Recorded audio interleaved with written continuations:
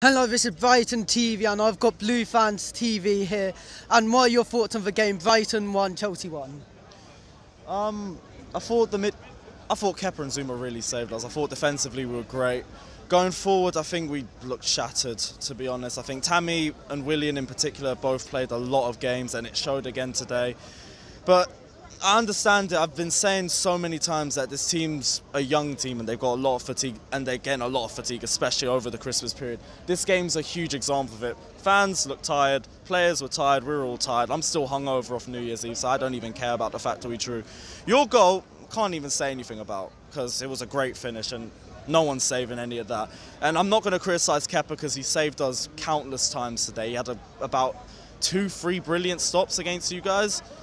So I, I don't know. I feel like the midfield we struggled to control the midfield a little bit. I would have liked to see Kovacic come on a little bit earlier because I think we would have had a better control with him on the pitch.